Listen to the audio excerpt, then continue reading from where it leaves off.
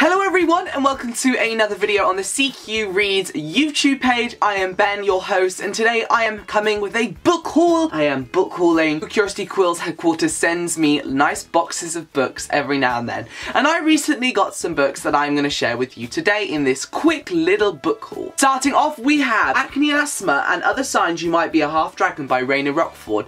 This is a book about a girl who's just a normal teen with spots and problems in school and then she finds out that she's half dragon when these trolls come and try and kidnap her in a shopping centre. This book is filled with laughs, giggles, but also some mystery and suspense. So yes, I'm very much looking forward to checking this book out. Next we have Alice Takes Back Wonderland by David D. Hammons. This is his retelling take on Alice in Wonderland and from the vibe I'm getting, this is a bit of a mysterious, suspenseful read as well. So for 10 years after the original Alice in Wonderland tale, everyone is telling her basically that she's crazy and that Wonderland isn't real and she's really having trouble kind of deciphering the difference between reality and um, this dream world. And when she finally gives up believing in it, somebody pops back into her life and asks her to go back. And I want you to read this book and find out why she has to go back to Wonderland. Next I have Darkness Watching by Emma L. Adams. This is book one in the Darklands series. This is a new adult paranormal read. This book has demons. It's a bit of a, a bit of a, a new adult version of City of Bones.